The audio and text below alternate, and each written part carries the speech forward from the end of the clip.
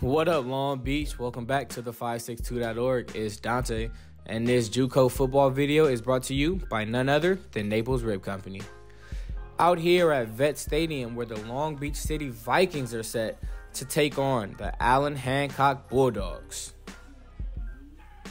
But not before they celebrate their homecoming and honor their sophomores who have been committed and worked hard extremely for this program for the last two years. And that hard work was put on display one last time, starting with Zachariah Dolphin, who got the offense going with some short receptions and good looking ball carries. Vikings were having their way on the ground to start. Saeed Galloway broke a couple tackles and picked up an extra couple yards. Then through the air with the dime from 1 to 5, Derek West drops it in the corner pocket to Trinell Wrigley for the first score, and the Vikings take the lead 7 to nothing.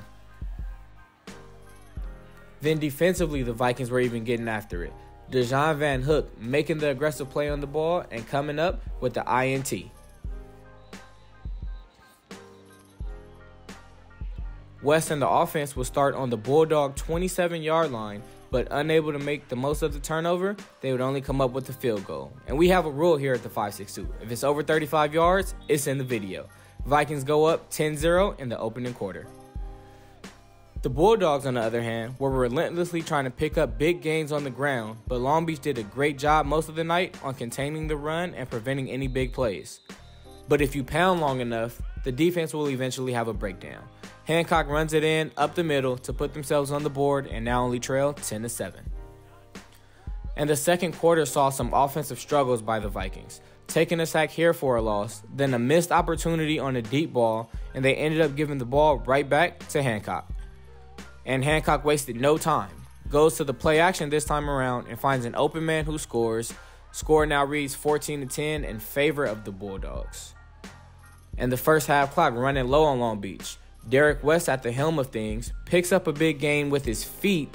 Then, two plays later, it could have gone the wrong way, but a deflected pass ends up in the hands of Jalen Morgan at the two yard line. And as time expires, Zach Leach taking the elevator upstairs to snatch this one. Vikings take a 17 14 halftime lead as well as the momentum. Third quarter saw a little less offense and a lot more defense on both sides. A good run here by West, but the Vikings would end up with nothing on his drive. At least they were making stops defensively. Van Hook with a hit to stop the ball carrier and bring up fourth and long for the Bulldogs. Then the only points of the fourth quarter came from Thaddeus Deny Dixon. He blocks the punt but can't recover it for six, but was still hyped to get the two and take a 19 14 lead in the third quarter. Jumping to the fourth now, love to see Long Beach kids still making plays out in Long Beach. Jalen Morgan from Long Beach Jordan with the catch and score.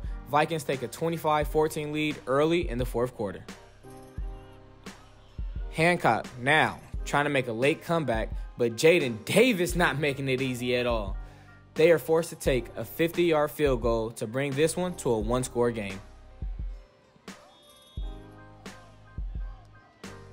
Long Beach making an attempt to run the clock out, but failed to pick up the first down, and now the defense has to come up with one more stop.